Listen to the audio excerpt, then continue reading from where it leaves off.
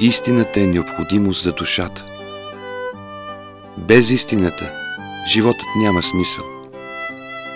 Който има истина в себе си, всичко може да постигне. Ето защо стремежът на човека към истината е вечен, непрекъснат процес.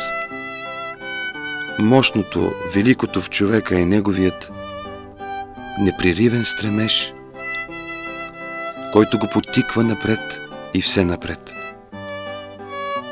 Светлата мисъл и светлото чувство правят духа на човека мощен и крепък.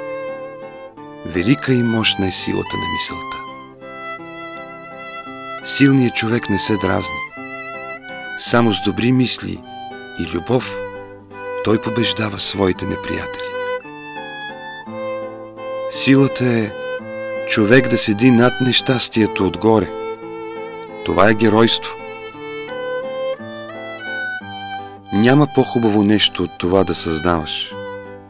Благородството на духа, достоинството на душата, достоинството на ума, достоинството на сърцето.